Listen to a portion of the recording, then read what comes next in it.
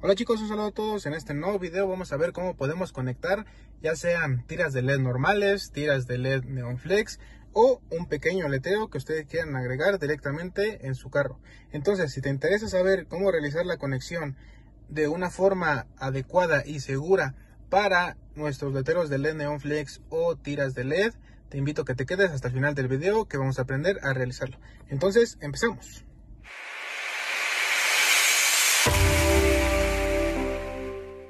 Listo chicos, entonces lo primero que vamos a hacer es identificar en dónde está la salida de voltaje de nuestro carro. En este caso, miren, eh, para este carro tiene un taponcito, este que dice aquí, que ya te dice directamente que son 12 volts.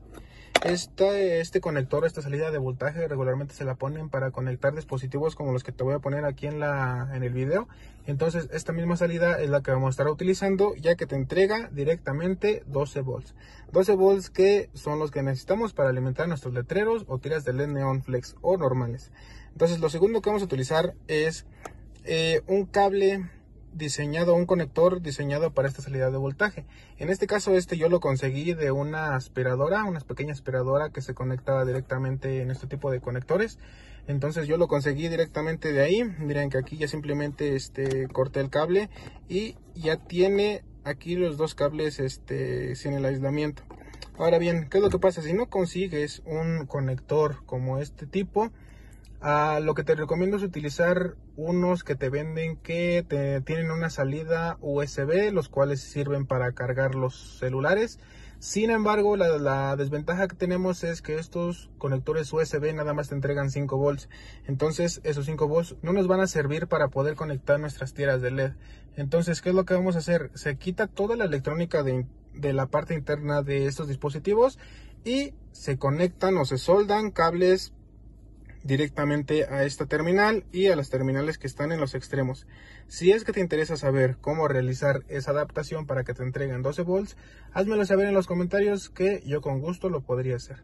Entonces una vez que ya tenemos estos dos este, elementos, lo que vamos a hacer es simplemente conectar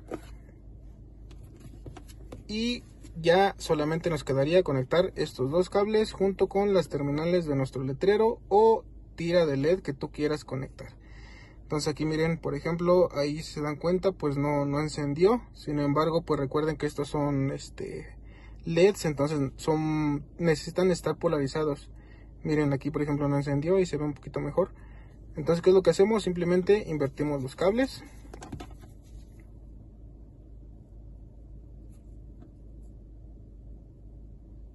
Y listo, miren, ahí encendió el letrero de LED miren que este, la iluminación que nos proporciona pues es muy buena. Listo. Entonces de esta forma es como nosotros podemos conectar ya sean tiras, ya sean letreros en nuestro auto. Ahora bien, una vez que ya aprendemos a realizar esto, me gustaría darles algunas recomendaciones. La primera y la más importante es solamente conectar este tipo de letreros o tiras de LED solamente cuando el carro esté encendido. ¿Por qué? Si nosotros lo hacemos mientras el carro está apagado, ¿qué es lo que va a pasar? Va a pasar exactamente lo mismo como cuando nos ponemos a escuchar música mientras el carro está apagado. ¿Qué es lo que va a pasar? Se va a descargar la batería. Entonces, si tú lo dejas conectado mucho tiempo con el carro apagado, lo que va a pasar seguramente es que tu batería se va a descargar y si tú vas a querer este, encender de nuevo el carro, ya no va a dar. Entonces, esa a ser la primera recomendación y la más importante. Ahora bien, tenemos una limitante en cuanto a el uso de esta salida de voltaje. ¿Por qué? Porque eh, en el manual ya está escrito cuánta corriente es la máxima que tú puedes demandar de esta salida de voltaje. Esto tú puedes buscar en el manual y si no es que y si no tienes el manual puedes buscarlo directamente en internet, ya que este como tiene una limitante de corriente significa que tiene un, fusible. Entonces este fusible regularmente se lo ponen para que no vayas a demandar muchísima corriente de este conector y así no vayas a provocar alguna este, sobrecorriente en el auto. Entonces esa va a ser la primera limitante.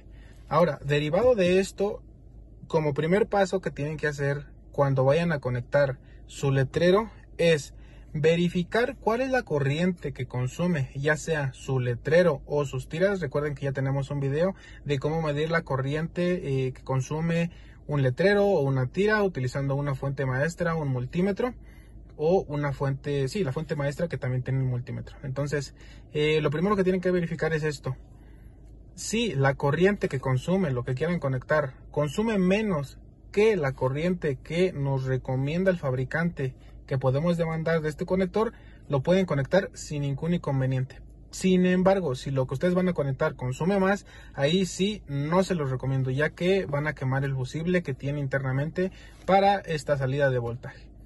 Y pues básicamente esas son las dos recomendaciones que les doy cuando vayan a conectar cualquier cosa a esta salida de voltaje. Entonces, pues básicamente esa es toda la información que les quería compartir el video de hoy.